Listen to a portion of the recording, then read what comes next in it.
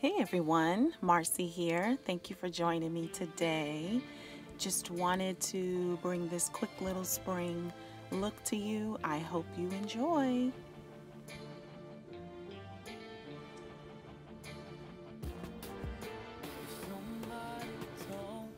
Hi there everyone. Today we're going to try a nice pop of color on the eyes. I'm going to start with the Mineral Face Primer by e.l.f. I really like this primer. It's a silicone base and it has a wonderful, wonderful feel to the skin. I think it provides a nice barrier between the makeup and uh, my skin. So what I'll do is just rub that in just to make sure uh, that it covers my entire face and then I'm going to move on to uh, my eyebrows. I like to use the Milani brow pencil in Mocha and I like this um, eyebrow pencil because it doesn't take a lot of effort to get the eyebrows right. As you see, I just basically follow the natural line of my eyebrow, fill it in where it's sparse, use the spoolie to brush it and even it out, and I call it a day. I'm going to set that with the Maybelline Clear Eyebrow Gel or the mascara, clear mascara. It works really well so that my eyebrows won't move anywhere. Alright, the next thing I'm going to do is I'm going to apply my um, concealer under my eyes and on any blemishes that I want to conceal. I'm not going to put on any hardcore foundation today, so I'm just going to take my time and buff this concealer into my skin so that then my skin tone will be evened out just a little bit. I like using this makeup sponge, guys, because it really doesn't move the product. It just pushes it into uh, my face and makes it stay. I'm going to set all of that with some MAC Studio Fix uh, pressed powder in NC45 and I'm using my um, Eco Tools stippling brush to do that and I just basically it's as if I'm airbrushing it into my skin and that's what it feels like and that's what it looks like after I'm done in person. I'm not sure how the camera will capture that. Alright, I'm going to move on with my Essential Beauty uh, brush, contouring brush. Actually, it's a foundation brush, but I use it to contour. And I'm using the e.l.f. bronzer and blush kit. And I will just create that shadow there on my cheek, um, my insides of that, you know, that indentation on your cheeks. And just creating a nice little shadow to set it up for my blush. Taking it on my forehead and chin, you know, where the sun will hit you naturally. Then I'm going to take the Milani blush in Lady Rose and I'm going to apply it with my Eco Tools blush brush right on the tops of my cheeks there, sitting it right on top of the bronzer that I just laid down. I'm going to highlight with the Wet n Wild Center Stage collection. It's very beautiful. And I just place that at the tops of my cheeks so that when you turn profile, you get that nice little glow.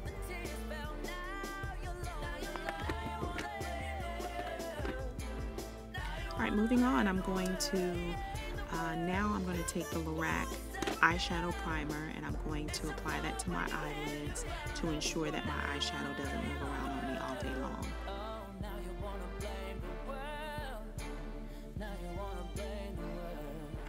Today I'm going to use a very bold color on my eyes.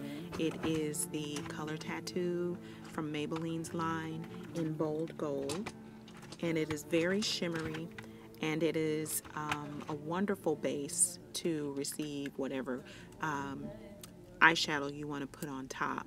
As you see, it is very pigmented. It's not um, very uh, solid in the event that it will um, be that exact color on your eyelid. Um, it's more to act as a glue for your high intensity shadow. I'm going to use the L'Oreal yellow and purple duo and I'm just going to place that right over the color tattoo which as you see intensifies that color even more.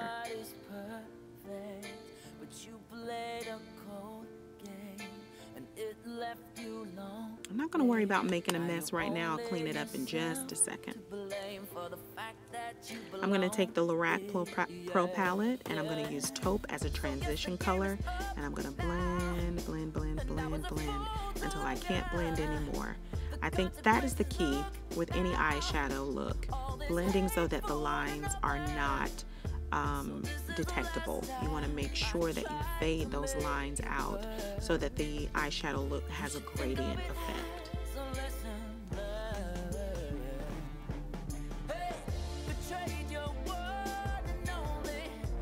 Just blend it on out until you feel satisfied. Cleaning it up with the concealer um, is, is a very simple remedy and it provides a nice clean edge. I'm going to go back in with the Lorac Pro palette and I'm going to use Garnet and I'm going to use that color to define the outer V.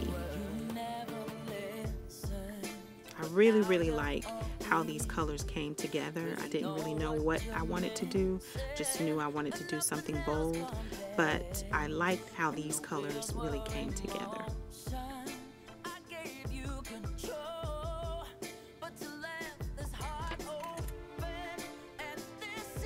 And we're to blend a little bit more and use a little bit more of the yellow to bring back some of the intensity of the color and make sure that it's in the corner of the eye bringing it down to a little bit on the bottom. I like putting those bright colors in the corners of my eyes. It really brightens up the look. What do you guys think?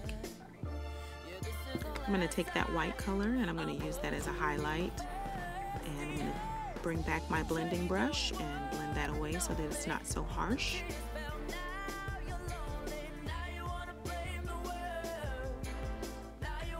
Think that's the completed eye look. Alright, so now uh, I think I want to move on to the eyeliner so that I can make the look really pop. And I like using the Wet n Wild um, waterproof because it doesn't bleed, it doesn't run, it doesn't fade away, it stays on all day, and it comes off really simply with the makeup wipe. So I like using the Wet n Wild um, waterproof liquid eyeliner. So I'm just doing a small little wing there just to extend uh, the dr dramatic quality of the eye, especially when the eye is open. See, this brush is really easy to use. This eyeliner is really easy to use. I really like it.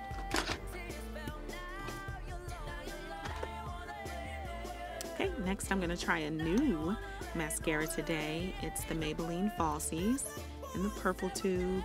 Um, and I like it okay right now. It's a little wet, but I think I can work with it. And I'm just going to pack it on until I get to my desired um, volume and um, look here. And I'm going to apply it to the top and the bottom.